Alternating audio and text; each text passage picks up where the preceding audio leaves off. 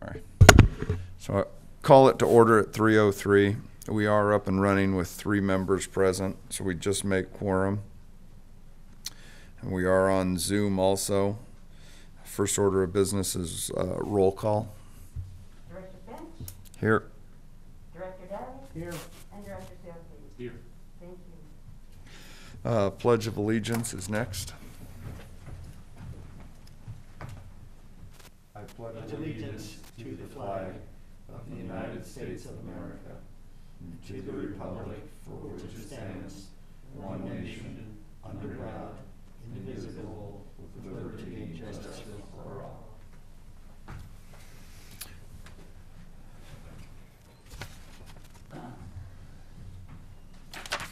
Uh, Director announcements starts with the mutuals. I have nothing to report. Ojai Water Conservation District, Um, nothing. Just, just for the record. Oh, no, yeah, no, no, I'm sorry, I'm community facilities. Uh, nothing on Water Conservation District. City of Ojai, Bill is not here. Casitas, Roger is not here. And Bob, Community Facility. Uh, On District. community facility, um, I had three calls in, in a reaction to the, um, the flyer that Casitas sent out to the, uh, to the users. And interesting, the three questions they asked is, was Casitas pumping out of the basin and then selling water to the east end? They talked about a well. And I said I didn't know, I didn't have the flyer at this time, and I didn't think so, so. I, I don't believe that Casitas takes, I don't take they, I don't believe that they pump from the San Antonio well field and pump it to anywhere except into the community facility district. That's what I believe. That would be That's, my, that's, that's my best that's my assessment. guess also. Um, General manager comments? We don't have a general, I'm just clicking. We're, we're really, Are we, are we here at the right time? Yeah, we are, but, Yeah, Have that massage for three thirty? yeah, no kidding. It- John probably be here shortly. Um, he is facing traffic. Okay, Yeah, he's walking in the door as we speak, so okay, we'll give him a minute. let's to- just hold off on that. Uh, Let's go, Jordan, let's just jump to basin status report. Sure. Okay, well, I'm, I'm gonna share the screen here to go through some of the photos.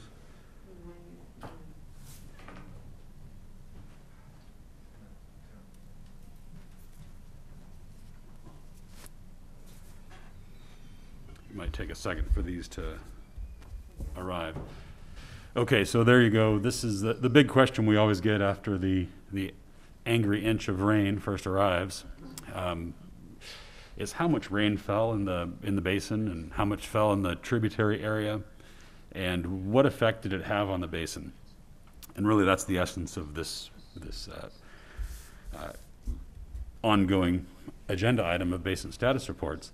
Uh, as you can see from this screen grab of, from the Ventura County Watershed Protection District, each of these green uh, ovals represent uh, a monitoring station for precipitation. That 3.54 you see sort of in the top middle of the screen is, is right uh, at the, at the ridge, Nordhoff Ridge, uh, the very edge of the San Antonio Creek tributary area, where three and a half inches uh, have fallen effectively this month. This is mostly over the past, uh, past week. 3.54 inches compared to two inches less than that down by Hermitage Ranch and about 1.32 inches on the valley floor. Uh, all of this is very welcome, of course, uh, largely to do with soil moisture and really a lack of need for short-term irrigation uh, in, in the area. It's not a lot, but it's a lot more than what we had over much of the storms uh, and several dry months in the past year. So we're, we're on our way to nearly half of what, what we would have received in the entirety of the 2020 to 2021 water year. So what does that do to the basin? Here's a nice little graph, something we couldn't have delivered uh, just a few months back. And this is what's happening in the perched aquifer system. Uh, This is a, a plot of water levels in the perched aquifer at the depth discrete monitoring well uh, down on South Fulton Street. So you can see that this is pretty stretched out. The scale here is, is about a foot from top to bottom. Uh, This is feet of, of water plus air pressure over the logger, so it's raw, but you get an idea about how much change that storm had on the perched aquifer system. Uh, Not a lot. Yeah, but- I want, I can say that I can't read a scale, so. Yeah, so I'll narrate the scale. Um, over the, the x-axis, this is only, um, only about a month of time. Uh, each data point being collected about ninety minutes apart. On the y-axis, temperature is not shown, that would be the red, but the blue dots are the water level. So you see a rough decline of, uh, of about half a foot over this month of time, and then almost instantaneously, the increase in water level of about three quarters of a foot uh, associated with that storm, and still rising at that point when we downloaded this the other day. So a pretty rapid response in the perched aquifer system, which is a little bit different than what we see in the basin as a whole.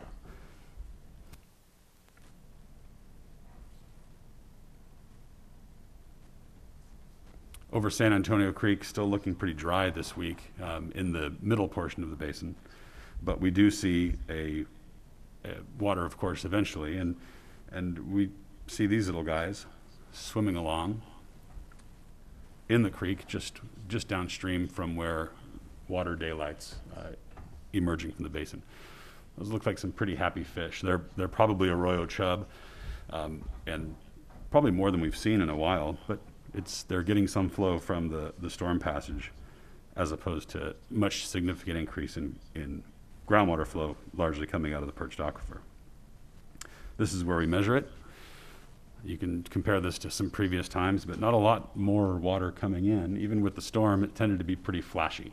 Uh, as you know, whatever surface flow came through went through pretty fast, and we're seeing back to consistent conditions.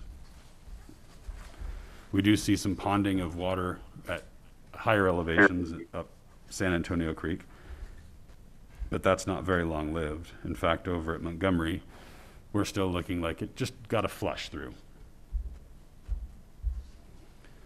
And folks still drilling. Back to this guy. All right. So how much water was flowing out of San Antonio Creek at this time? Um, this is our 27 October, so just yesterday. Um, very consistent with what we've had. 0.07 CFS. Very similar to what we've had over the past few times. So that seven tenths of a foot increase at the perched aquifer system is consistent with what we see in, in discharge, very consistent uh, to previous, not a lot of, not a lot of improvement as far as discharge. Uh, Let's see, let me leave this for a second. Stop this share. Share another content.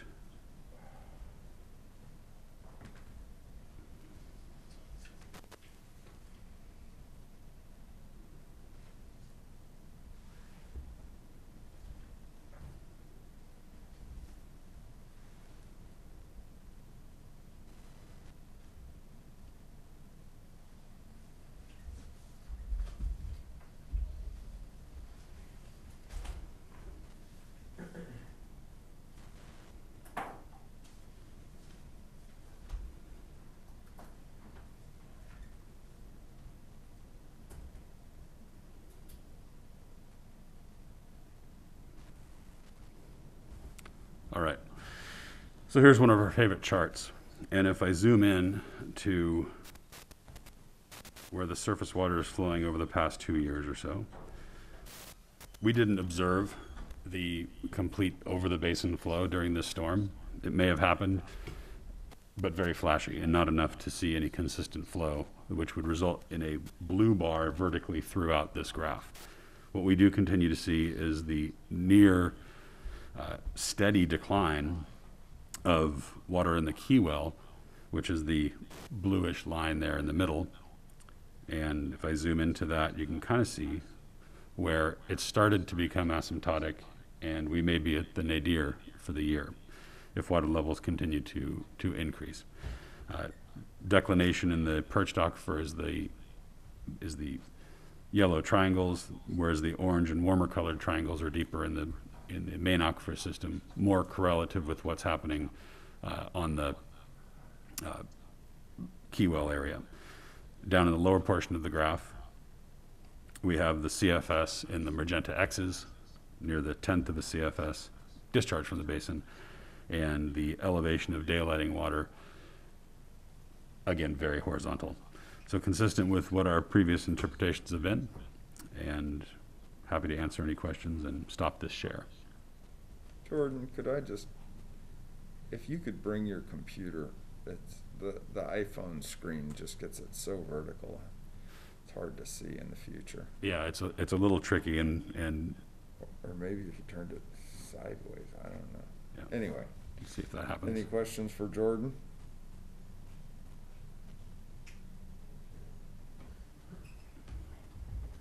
All right. All right. Thank you, Jordan.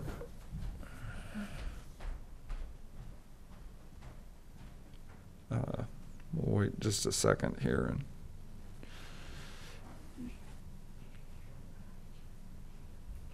John, we- skipped over you. We'll come back to you at this point if you have some comments. Yeah, I just have a couple things to report. Um, I sent by email, and I don't know if everybody's received it. It, it wasn't from our legal counsel, but it was from Meyers Nave, who's, I believe, in Westlake Village, talking about Assembly Bill 361, and this was the extension of the Brown Act requirements. And so it really doesn't affect OBGMA that much, as long as you're meeting in public. The, the, the real requirements, um, as far as notice and participation, all that, it relates to mostly if, if you're gonna hold public meetings by Zoom only. But I thought the board should be aware of that. We talked about it last meeting. And, uh, we're still, we're still doing this by Zoom.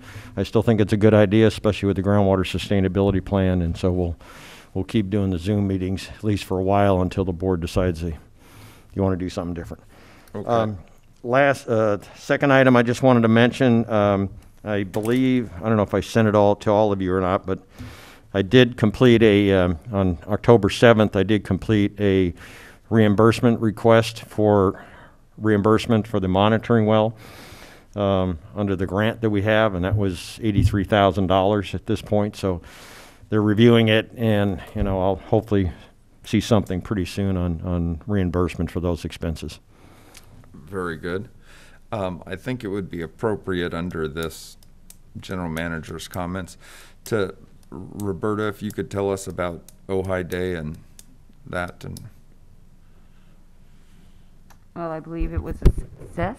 We had Matt, Lee, um, from Dudek come for three hours. And we had a lot of people come up and interested, we, um, able to give out a lot of information. Chair Hages was there for a little bit.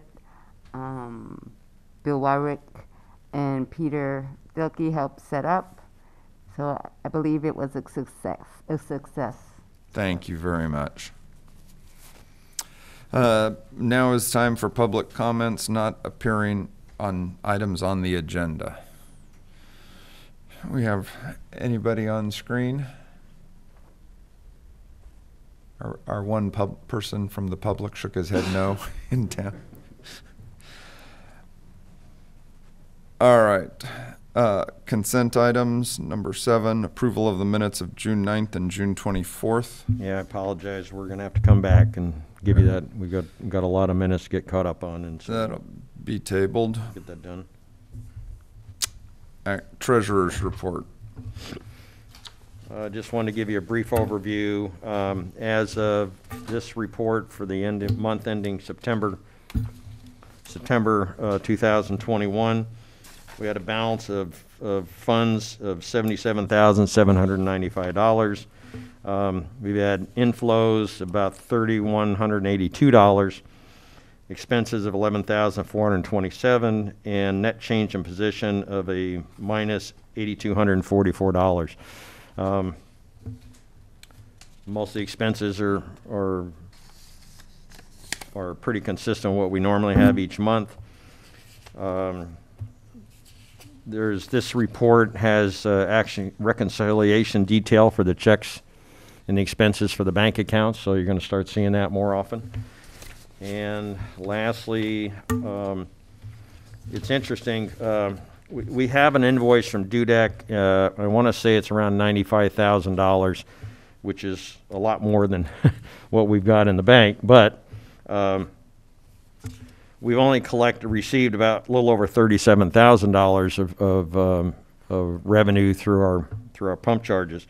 This time last year, we received a hundred and five thousand, so we're still due a lot of, uh, significant amount of revenue, um, to come in there. Of course, that's all based on pumping, but I have to think that we've probably had more pumping this year than last, considering the way the weather's been.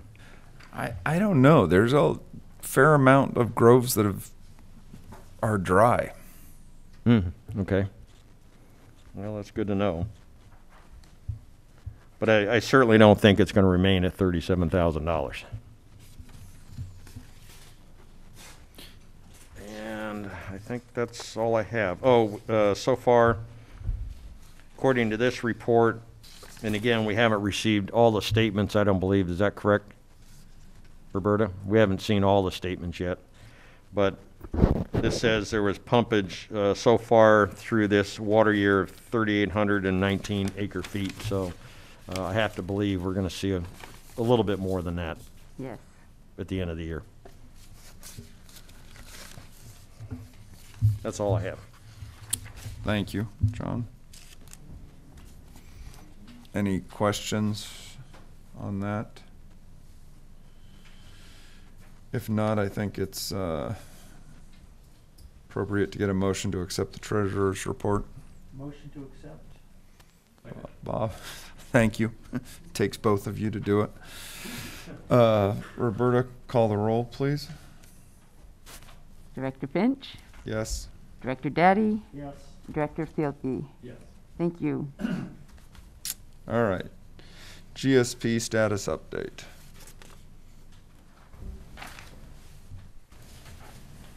Sure.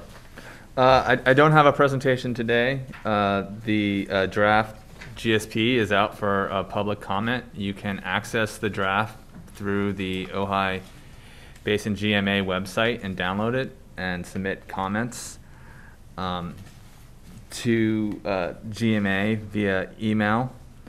Um, and then just in terms of where we're at, uh, on December 9th, uh, we're, we're going to have the public hearing to potentially adopt the GSP.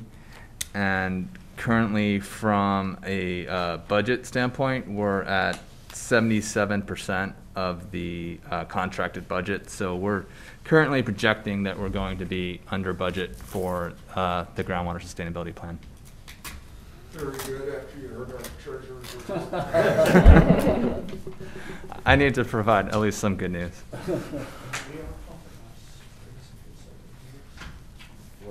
We're pumping less than thirty But to put that in a little bit more perspective, there, there's uh, almost hundred thousand dollars left in the budget, so it, it is likely going to be substantially less than what we originally estimated. Very good.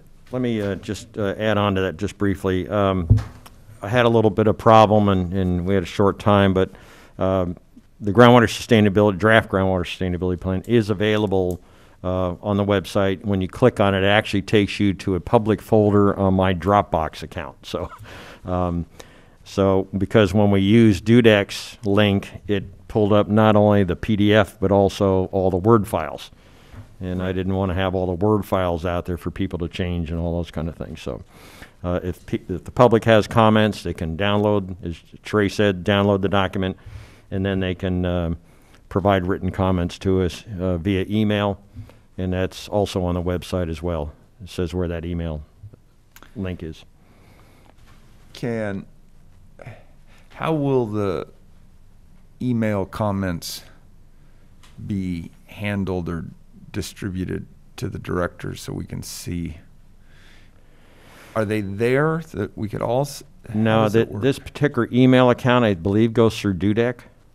Right, and we, we will compile all of the uh, comments and then we'll typically categorize them into themes. And we're intending at the December 9th uh, meeting to provide an overview of just the themes of the comments and some general responses.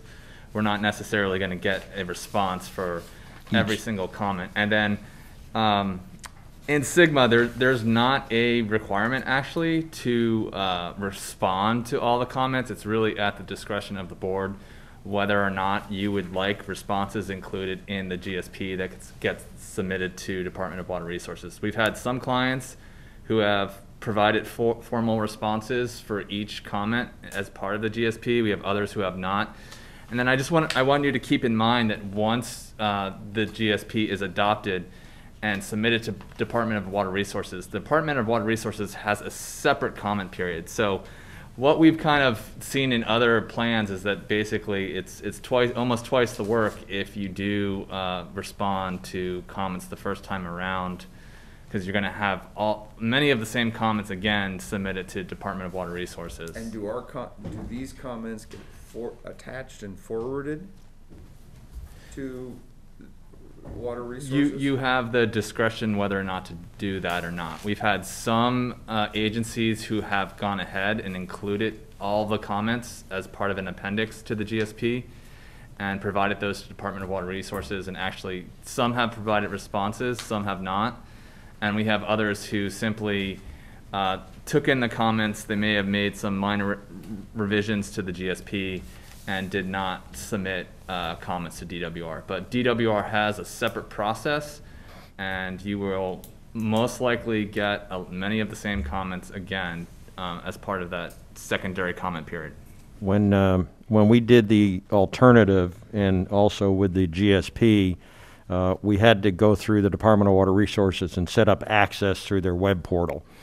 And so, uh, uh, if I recall, on the alternative, we did see comments from the public when the document went to the Department of Water Resources.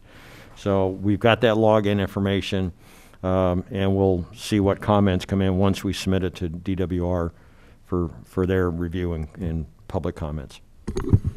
Uh, question for whoever, whoever, um, is comment to one, comment to all? Or can we just select certain comments that maybe five or ten or fifteen people have addressed? Or do we have to, if we, if we choose to comment at all, do we have to answer each one? I'm wondering if we have a criteria. No, I think, well, it's certainly up to the board. Uh, I know in EIRs, many times the comments, like Trey had talked about, are consolidated, and there's themes, and then you respond to the theme. And so I think that's the approach that we're talking about here, that we'll take a look at the themes and see if there's any, any incorrect assumptions made through the comments that we need to, need to put out why we don't think that is either correct, or here's something we'll include in the plan, or something in that nature. Anything else? Yeah, I, I just recommend that we go through the comments that we received and provide some general responses and see if there's anything that, that stands out that we think needs to be addressed prior to December 9th. Um, and if not, you know, I, I'd encourage, uh, potentially waiting to that second DWR comment period to, to really tackling everything. But if there's something that's brought forth, you know, oops, we, you know, made a mistake, we can tweak it. Exactly. Yeah, if there, if, Okay. A- and if twelve people point out our mistake, one, one response to those. Okay. right. So I don't think it's each one we can. Well, I want to make sure it's. Yeah, no, no, I, I, I think it's, This is data can be yeah. anything, you No, I know, and that, Next question, um, are we gonna get some of these ahead of time, or is this a Brown Act deal where we're gonna get them right when everybody else gets them? And we're gonna get them all in a group, or i- is this something that will flow in that we can look and kind of get a theme of where it's going ahead of time? Sure, we can just uh, establish a, uh, a link. We'll where we can upload all the comment letters Do and. you guys tabulate them, you know, a couple of, between now and December ninth is probably five weeks or six weeks. Do you midway tabulate it just so you don't have to do it all at the last second? That's what I don't wanna have happen. Right, yeah, we'll we'll typically read the comment letters as they come in, and we have a, a pretty detailed process of, of handling public compet comments. So, I- I guess, I think that's what, pop- you know, every two weeks as you tabulate them, if you could, it'd be easier to read twenty than sixty. Right. I agree with that hundred percent. So if you could get them to John, then. Sure. I can distribute them, Or Roberta, yeah. and then get them out to us. And I would suggest as part of the December 9th meeting, as part of that agenda, we should include um, our tabulation of comments. is- And so that the public will have that as well, as long, as well as the board. But, but you need to see it before then. Right, Yeah. and I, I'd rather see twenty, ten, twenty at a time. Yeah, yeah. Okay. I'm a slow reader.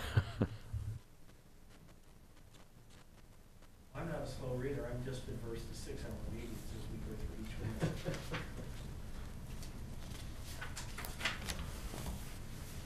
All right. Anything else on the GSP status update?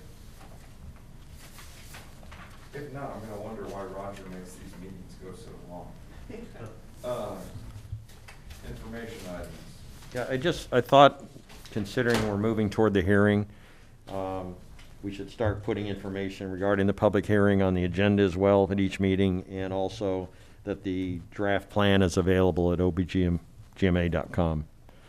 So just another way for the public to, to be informed about what we're doing. All right.